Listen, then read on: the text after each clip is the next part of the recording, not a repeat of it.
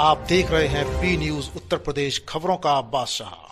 कई महीनों बाद आज ट्रेन चली। ट्रेन में पैसेंजरों को आनंद और बड़ी खुशी का एहसास हुआ। मिर्जापुर में जब से लॉकडाउन हुआ है तब से ट्रेन रद्द चल रही थी। लेकिन अब ये ट्रेन चलने लगी है। अब पैसेंजर एक जगह से दूसरी जगह जा सकते हैं। यानी कि वे अपने राज्य से दूसरे राज्य में जा सकते हैं। इस दौरान ट्रेन में सवार यात्रियों में जिससे भी पूछताछ की गई तो सभी ने प्रसन्नता से जवाब दिया कि सफ़र बहुत ही अच्छा रहा। सफ़र के दौरान लोगों से बात करने पर बताया गया कि इनका मोबाइल नंबर व एड्रेस नोट किया गया है। साथ ही कोरोना से बचाव हेतु सभी नियमों का पालन भी किया गया।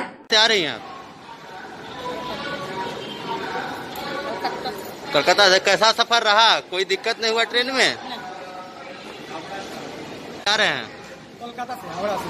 अरे ट्रेन में कैसा सफ़र कैसा रहा और की सुविधाएँ बढ़िया मिली? क्या दिक्कत हुई? कोई दिक्कत नहीं था सफ़र भी अच्छा था बहुत अच्छा सुविधा भी अच्छा था बहुत अच्छा था। कहाँ से आ रहे हो? कहाँ जाएँगे? हावड़ा से आ रहे हैं। और कहाँ को जाना है? प्रयागराज।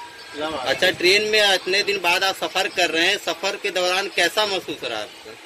अच्छा ही महसूस हो रहा है। कोई दिक्कत नहीं हुआ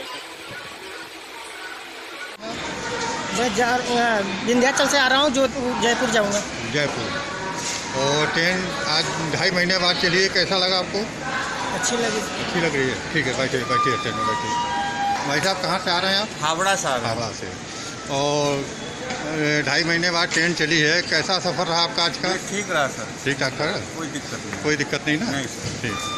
Thank you. क्या नाम है आपका भैया? मेरा चंद्रभूषण दूर है ओके ठीक है।